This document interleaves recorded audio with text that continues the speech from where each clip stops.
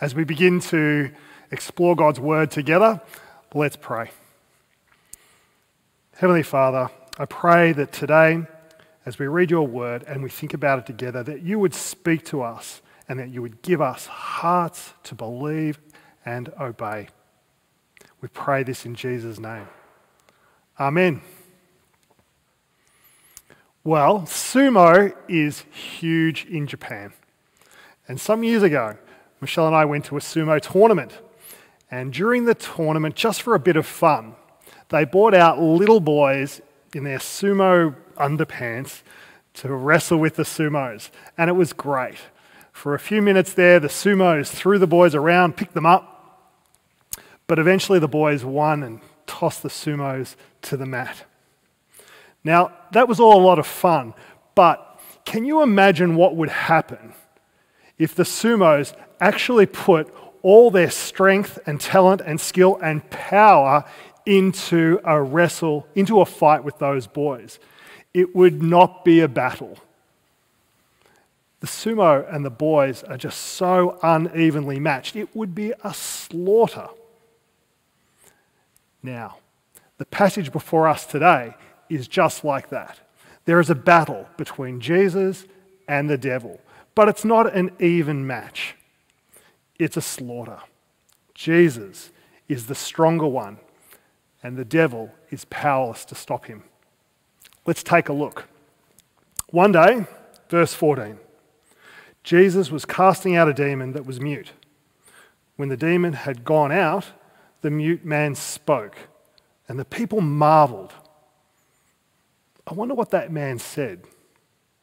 Verse 15, but some of them said, he casts out demons by Beelzebul, the prince of demons, while others, to test him, kept seeking from him a sign from heaven.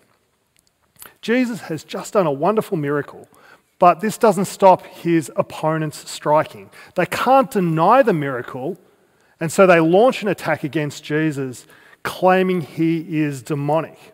And it's by the power of Beelzebul that he performs such miracles while Beelzebul is just another name for Satan or the devil.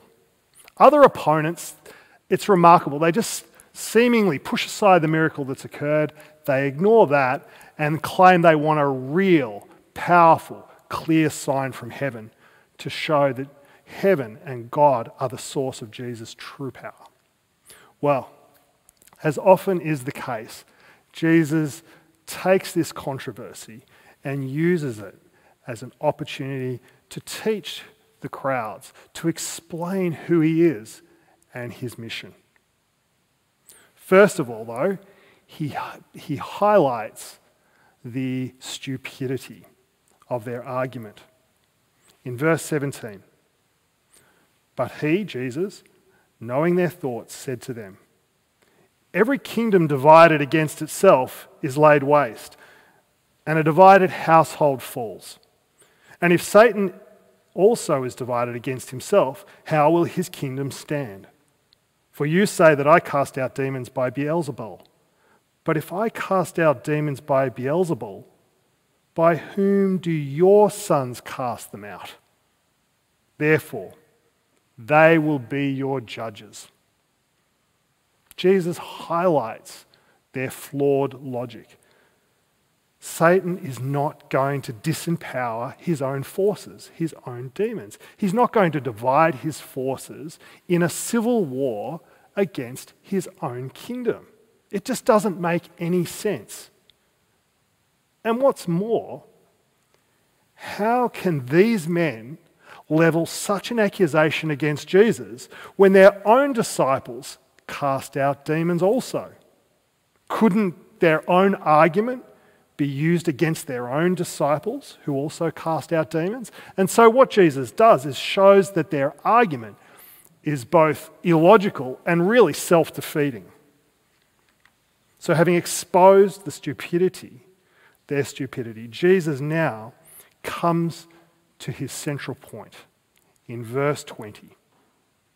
It's not by the power of the devil that he works his miracles, but if it is by the finger of God that I cast out demons, then the kingdom of God has come upon you. The casting out of the demon was an act of divine power and a sure sign that God's power was at work. Jesus is taking this opportunity to teach the crowds about himself. He's claiming that it's by the finger of God that he works. And in, in so doing, he's alluding to the plagues and the miracles of Exodus. And in Exodus 8, it is God who is credited with doing those miracles by his finger.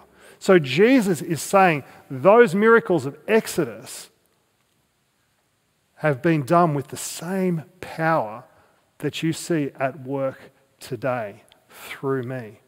The power that sent the plagues is the same power that I exercise. It's the power of God. It's by the finger of God that I do these things. In sending Jesus, God launched an offensive against Satan and evil. When Jesus works miracles, he's bringing the power and the authority of the kingdom of God. Jesus is saying, as, as Jesus is saying, as they witness the miracle, the kingdom of God has come upon them. It's arrived and it's caught them out. They've been taken by surprise. We need to recognize the coming of God's kingdom with Jesus. We need to think about the kingdom and experience the kingdom. The miracle shows when the kingdom comes, it's personal, powerful, and it's, it's very present. It's now. Personal because it only comes with Jesus, in the person of Jesus. Powerful as it invades the stronghold of the devil, defeats evil, and brings freedom. And present as Jesus was present in those days, so Jesus is present today by his Spirit, still bringing the kingdom, still calling people to himself. The kingdom comes to us, doesn't it? When we hear the good news, the gospel about Jesus. And we can enter that kingdom today by believing and trusting in Jesus. It's not only for the future, but we can experience the power and the presence of the kingdom in our own lives today when we know Jesus personally. I want us to think about the kingdom and, and if we might, just develop a kingdom awareness to experience the kingdom today personally and powerfully. So let me ask you have you experienced the kingdom? Is it personal and powerful and present for you? How might we experience the kingdom today? Well, if you want to experience the kingdom and the presence of God in your life and the presence of the kingdom, I think it begins, first of all, in a relationship with Jesus. Number one, to encounter the kingdom is to personally know Jesus. It's a powerful encounter. It's life transforming. It's an experience that we can live with every day. It's not enough to know about Jesus. We actually need to enter into relationship with Jesus, to listen to Him, to speak to Him, uh, to, to pray, to talk to God, to say to God, I want to know you and the power of the kingdom at work in my life today. And with the whole, help of the Holy Spirit, uh, we trust Him. We obey Him. We follow Him. And as He explains in verse 28, blessed are those who hear the word of God and keep it. That's the key. The key to kingdom living is to know the presence and power of Jesus personally in our lives today. His, his opponents, they, they missed this entirely and accused him of being demonic. Having explained the source of his power, Jesus uses a parable to further explain his mission to disarm and to uh, disempower, defeat Satan. Verse 21, Jesus says, When a strong man, fully armed, guards his own palace, his goods are safe. But when a stronger one, but when, when one stronger than he attacks him and overcomes him, he takes away his armor in which he trusts and divides the spoils. What is Jesus saying here? He's saying, I'm the stronger man. And the miracle proves it. Satan, fully armed and guarded, ruled over this man's life until Jesus came along and removed the demon. And Satan, who had sent the demon, could do nothing to stop Jesus. Why? Because one stronger than him had come. Because Jesus is the stronger man. When Jesus, the stronger one, comes, he releases the man from under the power of the devil. And that's the point of the imagery. Jesus attacks and overcomes Satan, disarms him, and releases people from spiritual captivity, carries away the plunder. Satan may be strong, but he's powerless to stop Jesus. And with this parable, Jesus further highlights the foolishness uh, of their argument to describe him as demonic. His whole career may be seen as a battle against Satan, although it's like the battle of a sumo against a little boy. It's, it's not an even match, it's a slaughter. Satan is powerless to stop Jesus. So, what, what's, what's a lesson for us today? I think one of the things I take from this passage is we don't need to fear Satan. Satan may be strong, but Jesus is stronger. Now, if we're living independently of Jesus, then we have a problem. But with the presence of Jesus in our lives, we don't need to be afraid. We see Jesus triumph over Satan. Sometimes when we look at the world, we can be tempted to think that the devil has won. Terrible evil and suffering fills our world, but Satan knows he's lost, and his defeat is just a matter of time. The story goes that Napoleon once gathered his commanders around him and he unrolled a map of the world. And much of the world was blue, except for one red spot the island of Britain. And Napoleon, having spread the map, says, If it were not for that one red spot, then I could conquer the whole world. Well, in a way, we can imagine Satan doing the same thing unrolling a map of the universe and then pointing to that one red spot and saying, if it were not for that one red spot, then I could rule the universe. That red spot, of course, is the cross of Jesus, the location of the final battle. The healing of the mute man is just a skirmish on the way to that final battle when Jesus will finally die but rise triumphant to defeat sin and Satan and death. If not for that one red spot, then Satan could rule the universe, he could rule your life.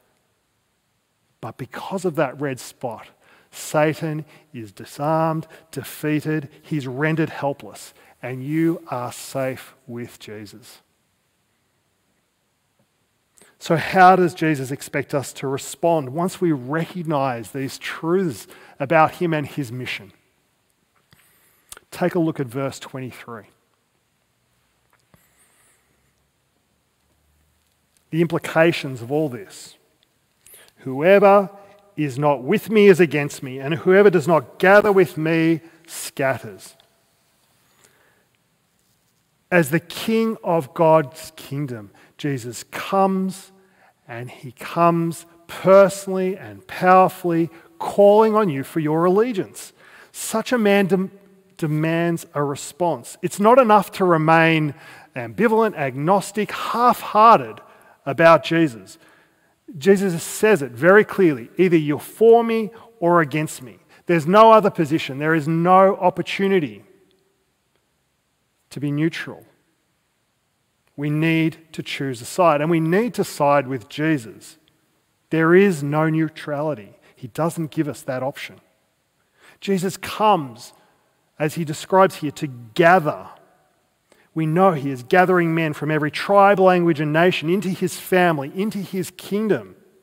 Like a shepherd, he's gathering us, his sheep. He's providing protection.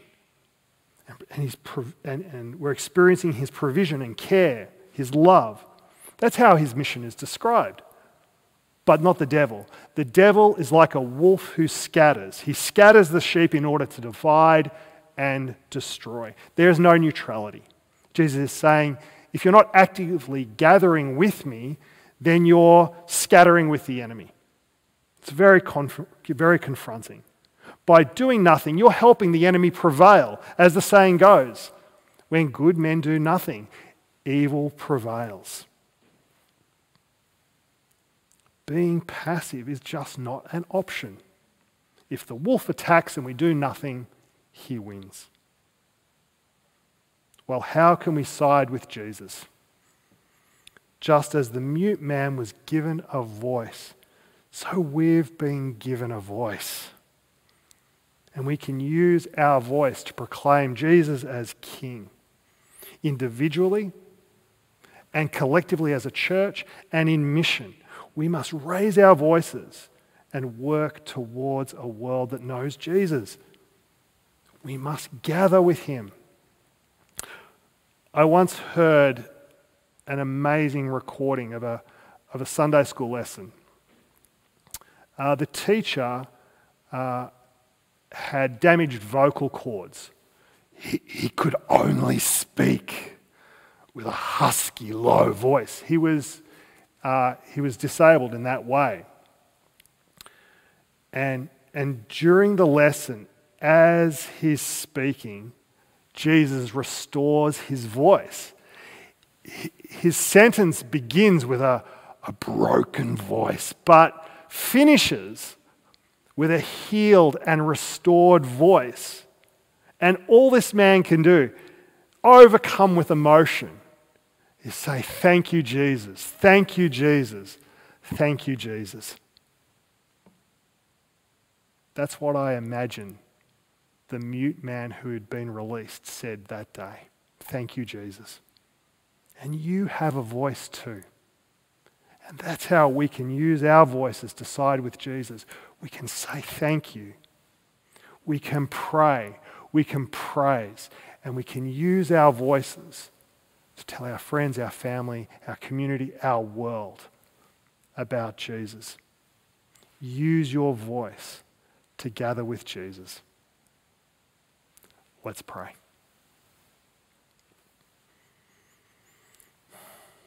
Heavenly Father, thank you for sending Jesus. Thank you that we can know your presence and power in our lives through him. I pray that you would help each of us to come close to Jesus, to place our trust in him, to side with him, to give our allegiance to Jesus. Give us the courage to use our voices to declare your praises and to gather with Jesus, I pray. Amen.